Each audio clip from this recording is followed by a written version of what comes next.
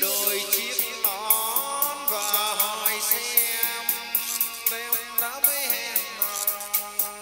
mà sao người quán họ cứ dâu lù cười thầm